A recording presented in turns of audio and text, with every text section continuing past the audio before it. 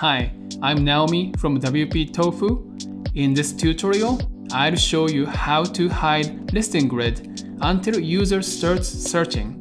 And this requires some JavaScript and CSS. And you should be able to get it from the description below and you can just copy and paste. Let's get started.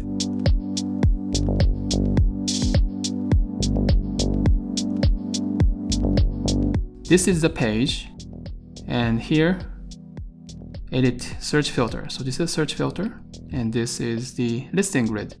First, we want to add a class, CSS class to this listing grid. So go to advanced tab and find CSS classes and put hide dash listing. However, this can be anything. You can change it later. Then next, we are going to add CSS and JavaScript code. These. If it's just CSS, I usually recommend people to use WordPress Themes Customizer. That's the easiest way to add CSS. However, it comes with JavaScript as well. In this case, if you are a developer, maybe you choose the option to use functions.php.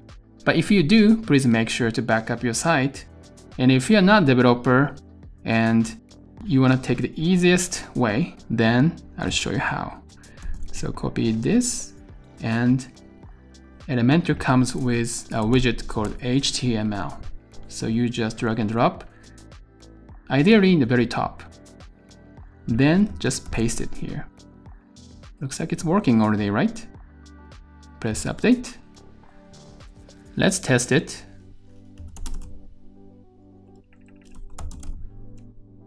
Yeah, it's working. It wasn't too bad, right? Please try it if you haven't. Thank you for watching.